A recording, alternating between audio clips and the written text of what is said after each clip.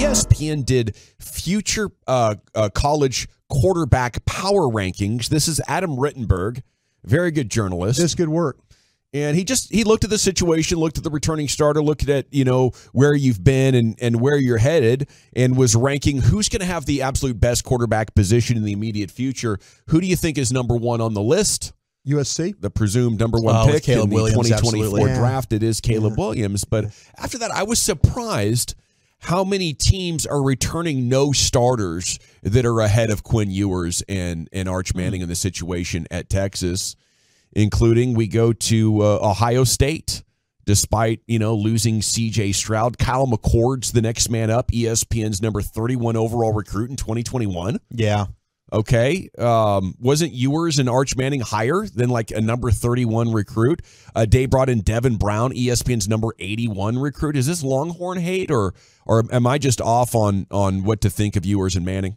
You're right in terms of Ewers definitely being a higher recruit. Some have have said Manning as a player needs more work, which is why I really do think he's not going to see a lot of playing time this year. Like kind of a uh, Bronny James situation yeah, going on. I, I think it had to have been it had to do with kind of the level of competition he was playing with in high school, and I just know the Manning family from people that I've been able to talk with, with at Texas. Part of the recruiting process was like, yeah, we're not trying to have him be thrown into game action until we feel like he's ready, because there's going to be a ton of scrutiny that comes with it because of his last name, obviously. But this might just be one of those things where Ohio State has just had a track record of having really good quarterback play under Ryan Day in college. Now, that doesn't always translate to the NFL, but Ohio State, when you look at whom they've had with Justin Fields and you go to CJ Stroud, and I mean, even a Joe Burrow having to transfer out of there, they've been a really good quarterback development program. Uh, and Kevin McCord's the guy that I think they think is going to come in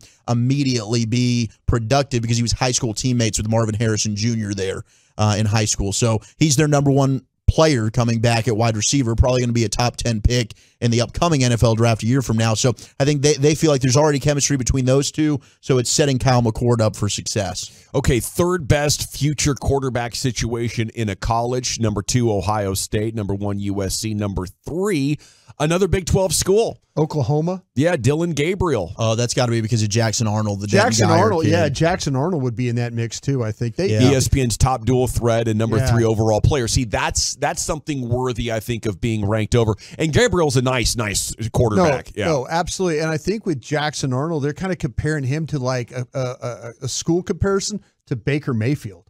Is kind Oh, of how okay. as, as how, Interesting. is how they would compare him to. Yeah, I think he's a little bigger, but Jackson Arnold was fun to watch play at Denton Guyer, man.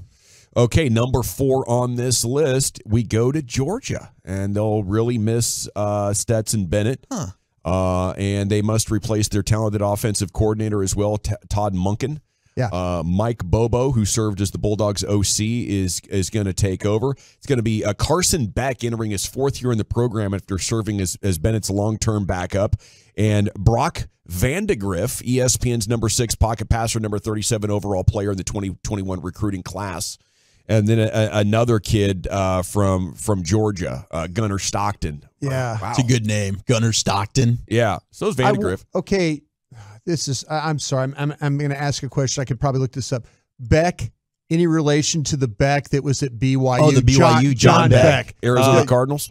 John Beck from yeah. I I, I don't. That's I, actually a good question, and you he I don't know if it- be. I think he is. yeah. John Beck he's is one of these guys that is like become a quarterback a- guru. Co- yeah, quarterback guru coach. Oh. So his son, he was a he, John Beck played at BYU, and I, I I don't know if that kid got away from the West Coast and went all the way to Georgia, but he's been there what four years now is what uh, Yeah. what we're talking about. Yeah, if you're going about. to leave the West Coast and, Yeah. and, and go that's somewhere to play amazing football, that that's this the spot. kid. That's amazing that this kid hung in there that long though, because what Georgia had a run there. What uh, JT Daniel, they had all kinds of guys that were rolling through there. before Sometimes you got to just got to wait your he turn. just waiting his turn. Uh, I mean, ask Brad Johnson's kid, right? Even Yeah. he got a, an opportunity. So I'm seeing his it, Beck's dad, Chris Beck, was a linebacker for Navy. Okay, so it's a different. This is a Maybe different not Beck. a direct relation to John Beck. Okay. okay, number five on the list, they've lost Bryce Young, uh, but Bama.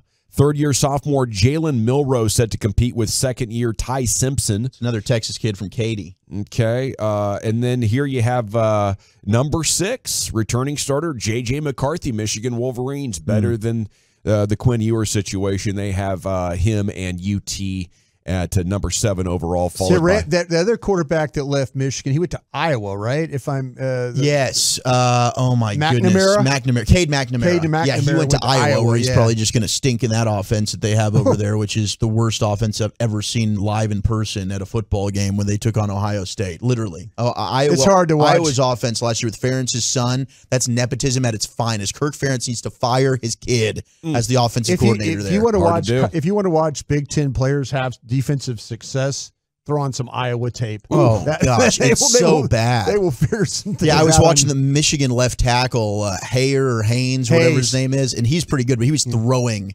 people around Oh. when they were playing Iowa, which was impressive, including Lucas Van Ness, Van Ness. Hmm. in that game. He, he he's a good player, but no, Gavin, I, I don't think maybe JJ McCarthy, who has some upside and potential, but Alabama and Georgia, this has got to just be because of the name brand. Like those quarterback situations, in my opinion, and I get Quinn Ewers struggled in the back half of last year, but we've talked about this. I don't He was think that hurt, shoulder right? was ever right. Yeah. And you, you talk about the upside with Ewers and Manning. Texas should be ahead of the, both of those programs right now with their quarterback situation. I, I think so too. I just wanted to check with you guys How about some uh, Big 12 storylines here from the morning news. We're getting you a college football super segment, a little college basketball mixed in as well. There's Siegrist as well going to the baseline, and she missed. It's a rare miss. That's a first. Okay. Um, is Texas back? Is the number one storyline. Texas returns 85% of its offense, they note here. Do you expect this to finally be it?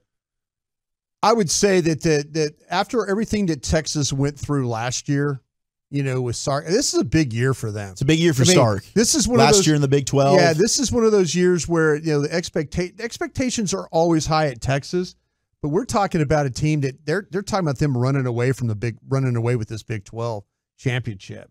So yeah, I, I it's it's important, man. Every time you be a runaway year? well, every time you want to like Texas, something happens. something happens. They And then- underperform. they they're- underachieve. They blow double seven- digit leads. Yeah, they're seven and five, or they go lose a game at Ames, Right. Iowa, or they'll lose to Kansas, and then you know then they're seven and five and playing in the you know the uh, Valero Alamo Bowl. Question number two Will Texas Tech contend? Gotta Yes. like Joey. I think so. I think Yeah. Joey is building a fantastic program there with Texas. That's The- personal for me right there. Yeah. Yeah, you know, my, every my love for Joey McGuire and what he can do. I, I think he goes out there, he recruits hard. He's going to get the right. It's got a very much of, of a vibe out there, like what uh, Gary Patterson was building at TCU, where all of a sudden it's like recruits started showing up. They're really good at evaluating. They're signing guys.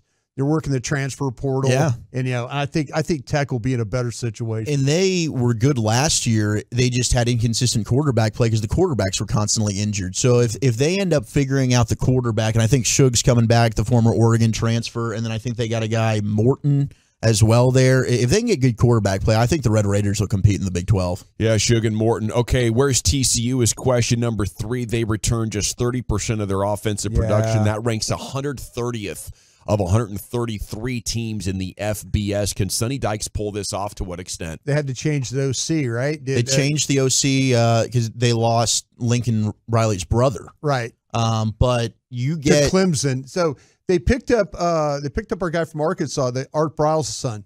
Is- that's right, they did. Yeah. Yes. He was at Arkansas. Kendall Briles. Kendall, and he's done a good job there at Arkansas. Yeah. I, and and look, Chandler Morris, I'm a little biased here. I got to cover him at, at Highland Park. I think he's a really good quarterback. And they got JoJo Earle, another guy I got to watch at, from Aledo that was a originally committed to LSU, then went to Alabama, and now he's transferring to TCU.